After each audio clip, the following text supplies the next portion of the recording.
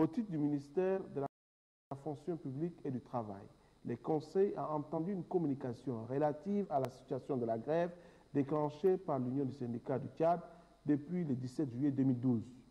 Le ministre a expliqué au Conseil les différentes étapes de négociations avec l'UST et les solutions apportées à certaines revendications.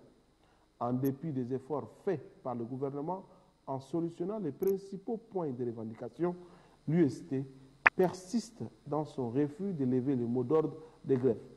Compte tenu donc de la persistance de l'UST à vouloir reconduire systématiquement à la grève, les mesures suivantes sont prises. 1. L'instauration dans tous les départements ministériels du système de pointage des agents. 2. La prise en charge par l'UST des salaires de ceux des agents qui observent la grève. 3. La valorisation des agents qui ont toujours fait tourner l'appareil de l'État. Et enfin, 4. La réorganisation des services au niveau des hôpitaux en vue de permettre leur fonctionnement normal. Le Conseil a réitéré son soutien au ministre de la fonction publique et lui demande de poursuivre le dialogue.